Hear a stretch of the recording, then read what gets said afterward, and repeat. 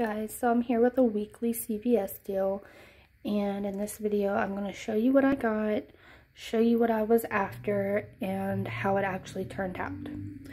So in this week's ad if you spend 30 you get 10 back on these products. So it's Dial and some Right Guard Dry Idea deodorant varieties here and they are on sale as well so that always helps.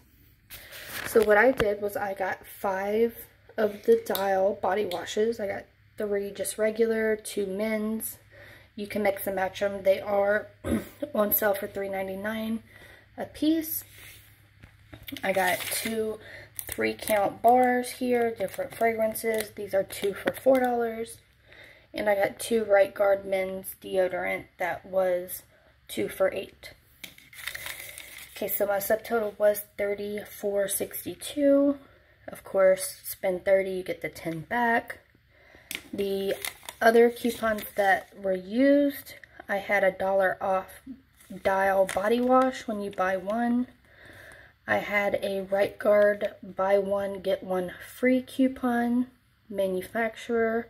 So that's where the 4.79 came off at. I also had a dollar off when you buy two Dial soaps, three count or larger. CVS digital coupon of 3 off when you spend 18 on body wash. So these five alone were $19.95, therefore hitting that $18. And then I did just use one of my $3 extra care bucks. So my total was $20.98.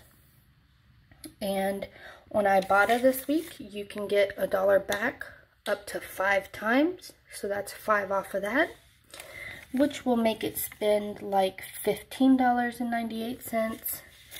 Getting the $10 extra care buck back, it's like you're spending $5.98.